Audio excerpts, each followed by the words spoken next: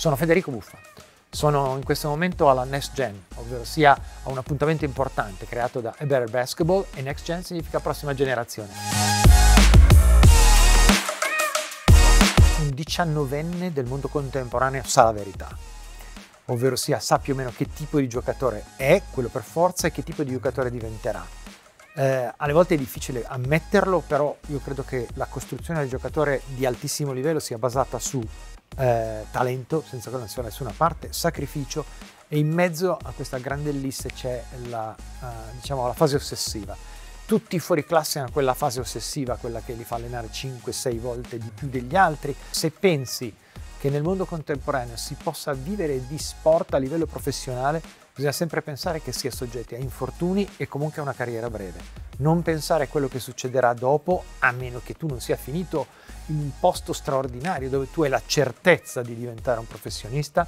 Io penso che tenere in piedi tutte e due le opzioni sia fondamentale, se non dire necessario cosa mi porto di quell'esperienza, cioè della mia laurea in giurisprudenza?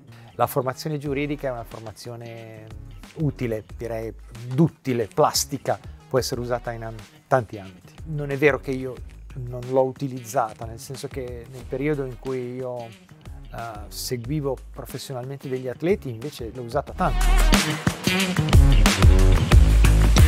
Io non tengo, tranne in un caso ai Clippers, mm, che quindi si vedono raramente, a, a, una squadra, io tengo i giocatori e quindi faccio il tifo per tutti, per questo e per quell'altro, indipendentemente dalla squadra. A me piacciono le singole giocate e un sacco di volte uh, io grido If you don't like this, you don't like NBA basketball. Sono solo a casa però.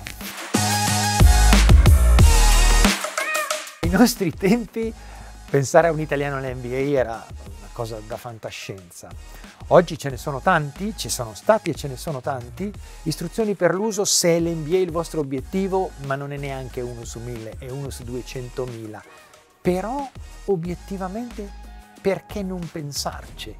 Se tu non hai una grande leva, se tu non hai un pensiero forte, probabilmente impegni meno mentalmente e corporeamente le tue risorse. E invece io penso che sia giusto pensare quello è il mio obiettivo. Non ci sono arrivato, ma io devo avere quell'obiettivo. Next Gen significa prossima generazione, siete la prossima generazione, avete tutto il diritto e anche un parte del dovere di pensare in grande, perché si vive una volta sola e si vive in grande.